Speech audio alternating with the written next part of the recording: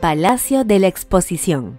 El edificio que hoy alberga el Museo de Arte de Lima fue inaugurado en 1872, junto con el Parque de la Exposición, para exponer precisamente los avances y las utilidades de los productos naturales y manufacturados del Perú en una exposición natural que atrajo delegaciones extranjeras y expuso también arte, alimentos, tecnología, entre otras categorías era un abanico del progreso del Perú bajo el influjo del reciente boom económico del guano. Este era un espacio fuera de las murallas de Lima, un lugar de chacras que se expropiaron para hacer no solo un edificio impactante con el nuevo material constructivo del mundo moderno en ese momento, el fierro, sino un espacio vital de socialización y esparcimiento.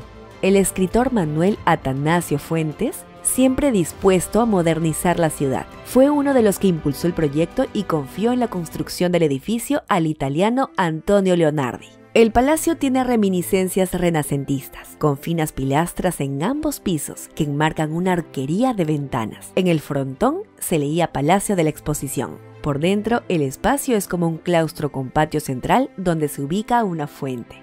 Pero lo interesante son las salas de exhibición, grandes espacios abiertos, solo sostenidos por finas columnas de fierro fundido atribuidas al taller del francés Eiffel. El palacio ha albergado en distintos momentos a distintas instituciones, Museo Nacional de Historia, Pinacoteca Merino, Ministerio de Fomento, Cámara de Diputados, Dirección de Tráfico, Ministerio de Agricultura y hasta la Municipalidad de Lima con casi 20 años. Hoy alberga el Museo de Arte de Lima que basó su colección en la que tenía el filósofo y político Javier Prado, hermano e hijo de sendos presidentes del Perú, coleccionistas impresionantes de piezas arqueológicas y obras artísticas que luego de su temprana muerte fueron donadas al museo, que ya ocupa el espacio por el presidente Manuel Prado en 1961, años después del fallecimiento de su hermano. El Palacio de la Exposición tiene una continuidad histórica importante y tanto el edificio como su contenido es patrimonio